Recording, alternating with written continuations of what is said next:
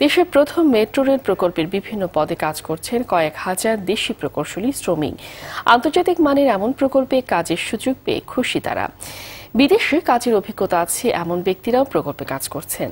বাংলাদেশকে বিশ্বের দক্ষ জনশক্তি দেশ হিসেবে প্রতিষ্ঠা করতে সব মেগা প্রকল্পে আরও বেশি কাজের সুযোগ তৈরির পরামর্শ দিয়েছেন বিশেষজ্ঞরা। মেট্রো নিয়ে জুলহাস কবিরের ধারাবাহিক রিপোর্টের শেষ পর্ব ছবি তুলেছেন নাজমুল হোসেন সাইমন।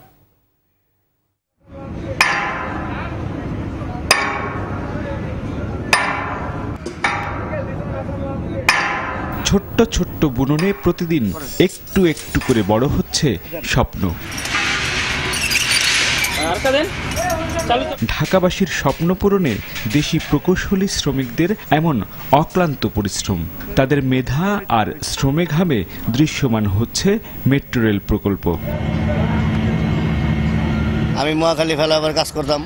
ওখান থেকে অভিজ্ঞতার কারণে আমি এখানে কাজ পাইছি। সুযোগ সুবিধা এখানে ভালো মনে করছি তার জন্য এখানে জব ইয়া করছি ইন্টারভিউ দিলাম দেওয়ার পরে এখানে সিলেক্ট হওয়ার পরে আমি আর বাইরে যাইনি। সিঙ্গাপুরে ছিলাম তো ওখান থেকে আসার পরে দেখি সেম সেম কাজ। যানজট নিরসনে আসছে মেট্রো রেল।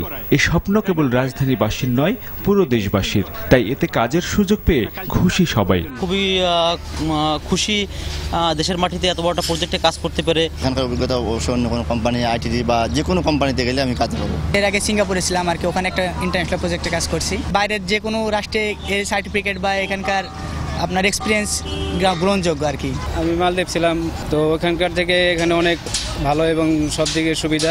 প্রকল্পের নির্মাণ কাজ শুরুর পর থেকে প্রতিদিন নানা পদে কাজ করছেন কয়েক হাজার শ্রমিক। বিদেশিদের সঙ্গে কাজ করতে করতে বেশ অভিজ্ঞ এখন তারা। যারা বিদেশে কাজ করতো সেই সকল বাংলাদেশি শ্রমিকেরা এখন ফিরতে শুরু করেছে অনেকেই বাংলাদেশে। এবং তারা বলছেন যে বাংলাদেশে বসেই তারা বিদেশের সুযোগ সুবিধা পাচ্ছেন। আর তারা এও দাবি করছেন বাংলাদেশি এ সকল প্রকল্পে যদি দেশি শ্রমিকদেরকে আরও বেশি সংযুক্ত করা যায় তাহলে বাংলাদেশ একটি দক্ষ জনশক্তির দেশ হিসাবে পরিচিত হবে এবং বাংলাদেশি শ্রমিক দিয়ে বাংলাদেশের এ ধরনের বড় বড় প্রকল্পগুলোর কাজ শেষ করা সম্ভব হবে। কাজ করছেন দেশীয় প্রকৌশলীরাও। তারা বললেন আগামীতে এমন যে কোনো প্রকল্প তারাই বাস্তবায়ন করতে পারবেন। নেক্সট প্রজেক্ট যে এমআরটি যে লাইনগুলো হবে তাতে এই লোকগুলাই সেখানে কাজ করার সুযোগ হবে।